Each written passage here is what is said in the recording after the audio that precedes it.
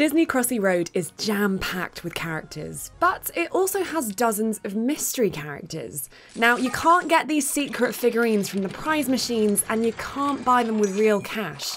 You're gonna need to meet certain criteria, and I'm gonna tell you what those are right now. The first secret character is Mortimer, and he's the only character so far that you can actually find while crossing the road. You need to be playing as Mickey Mouse, and at a random point in the level, there's going to be a clearing containing Mortimer and his guitar. Just hop on past, and then when you next get splattered, Mortimer will be yours. Other characters can be found by collecting small objects littered on the track. If you collect 50 of them, either in one go or across multiple runs, you'll get a special character. For example, you can get the Warthog by collecting 50 cakes while playing as Attila. You get the captain of the guard by collecting 50 apples while playing as Maximus, and Jessie from Toy Story by gobbling up 50 cherries while playing as Bullseye. Now, the rest of the secret characters are gained by unlocking sets of characters, like all the emotions from Inside Out, or all the toys from the first Toy Story. The annoying thing is that it's really hard for anyone to know exactly what characters do and don't belong in each set. So you're going to have to figure it out based on the clue in the set's name.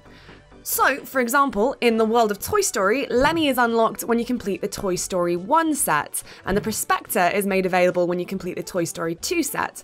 We're guessing that you need to find all of the characters from the first Toy Story to unlock Lenny, and all of the characters from Toy Story 2 to unlock the Prospector.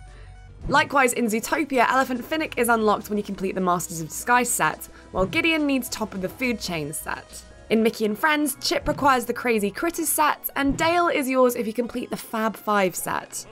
In the Haunted Mansion, the Cat Lady requires the Leading Ladies set, and Gus needs the Spooky Spirit set. For the Lion King, you'll want to complete the Humble Beginnings set to get the Hippo, and the Big and Tall set to unlock the Giraffe. Fred from Big Hero 6 needs the Best Friend set, which is probably all the kids plus Baymax. And Fred's Supersuit needs the Supersuit set, which has got to include all the kids in their supersuits. Alistair Krei is unlocked when you complete the Top Dog set. In Tangled, Rapunzel Braided is yours when you complete the Tangled Heroes set. Mother Gothel needs the Feels Good to Be Bad set, and the King is unlocked when you complete the Honourable Men set. Over on Inside Out, Bobby requires the Brain Maintenance set, and Fritz is unlocked when you complete the Feeling Emotional set. Don of Wreck It Ralph fame is unlocked when you complete the Short and Stout set, while Deanna comes with the Citizens of Niceland set. And Rancis Fluggerbutter is unlocked when you complete the Citizens of Sugar Rush set. So those are the sets that we know of.